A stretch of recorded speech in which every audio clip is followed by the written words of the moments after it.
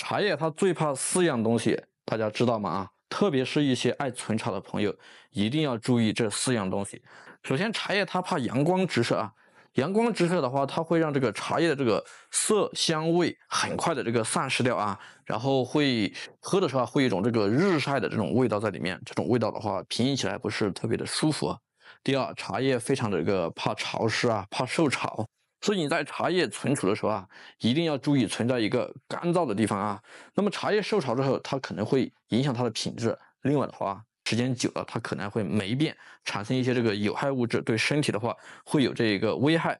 那么第三个，茶叶还怕这个高温啊。那么茶叶在这个非常高的温度的这个环境中啊，它会很容易发生这种褐变，也就是我们讲的这个有点像这个糖化啊，就是大家看到这个呃茶有些高温体现的茶，它看的是黑黑的啊，会产生这种褐变，所以说是。高温存储的茶，它这个颜色是看上去非常的这个深啊，所以说是茶叶第三个怕高温。第四的话啊，茶叶怕异味，茶叶它有很强的吸附性。所以说你在存储时候一定要跟这个其他味道大的东西给它分开来存啊，然后不同的茶类的话，你也尽量要给它分开来存，因为它的吸附性很强，很容易串味。所以的话，首先你要分开存，其次的话，最好要给它这个密封保存啊。以上四样东西啊，是茶叶最怕的，大家记住了吗？